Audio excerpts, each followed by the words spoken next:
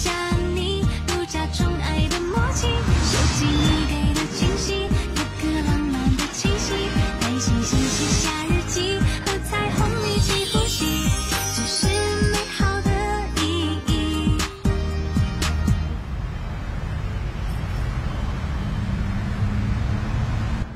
咋？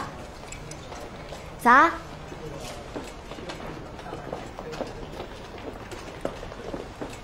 哎，表情，你在这儿干嘛呢？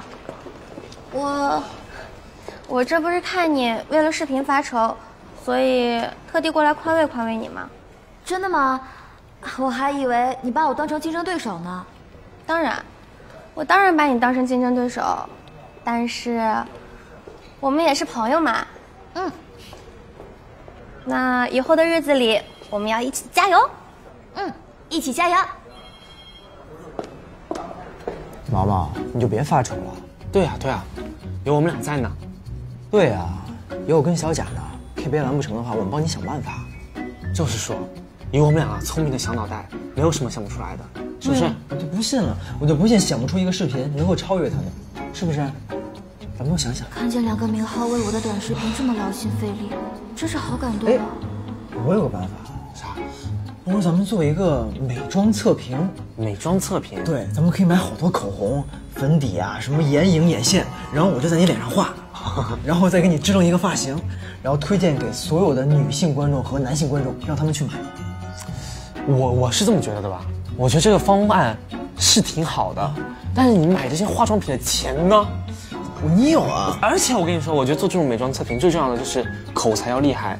哎呀，就你这种不行吗不是，就你这种，你连口红色号你分得过来吗？你会分清楚吗？是不是？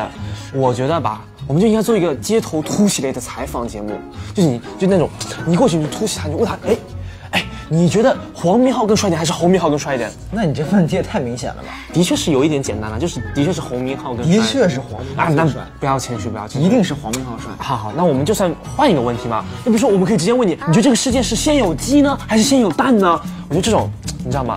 越是不可靠的惊喜就越多，然后就看的人也会越多。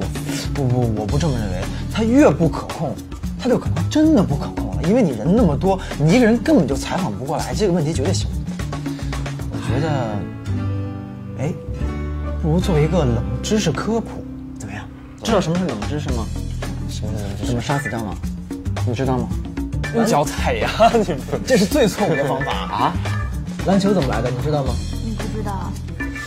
花椒所带来的麻到底是什么？不知道吧？我觉得啊，所以我可以做一个有关这方面的冷知识科普，男女老少皆宜，大家都会看的，点击率肯定非常高。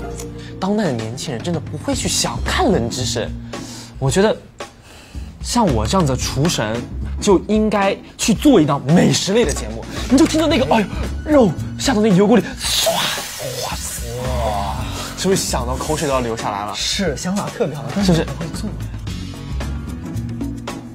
你这是在挑战我，你这是在质疑我，你这是在挑战我你，是在质疑我，你是在怀疑我。质疑我。你们先冷静一下。毛毛，那你觉得我们的哪个人的比较好？毛毛，你看着办吧，是我吗？是我吧？